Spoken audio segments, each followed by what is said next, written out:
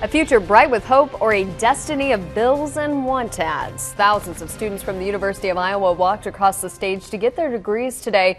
But for many, with graduation comes paying back large student loans. CBS 2 News reporter Mugo Odigwe caught up with some graduates and joins us from the newsroom with their thoughts. Mugo.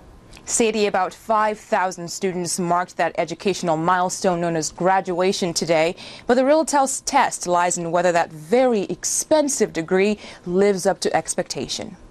Parents, brothers, and sisters, and most of all, graduates. This is a day they've all been waiting for. I'm super excited to see what the future holds. Pumped totally worth it. For some, though, six months from now is the day of reckoning, or the time to start calculating just how far in debt they really are. Maybe like 20,000. I'd probably say 20 to 30. That's the story of many students in America. Just this Tuesday, the Federal Reserve Bank of New York reported that student debt rose by 31 billion from January to March bringing the overall amount of student debt to 1.1 trillion. Of course, there are those who have nothing to worry about. Well, I was in the army for four years, so now I'm on the post 9/11 GI Bill. So. Uh, fortunate in that you know the army helps me out. I was fortunate enough to get a few scholarships and some government-supported financial aid, and I'm coming out debt-free.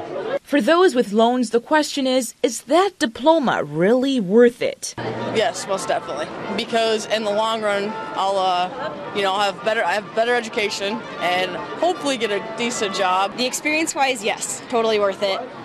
If I use my degree, yes, totally worth it. Right now, it's overwhelming because I don't know how much it is, but definitely worth it, I think, in the end. But this moment really isn't about counting debt. It's about celebrating a huge accomplishment and looking ahead to the future. I'm excited for grad school.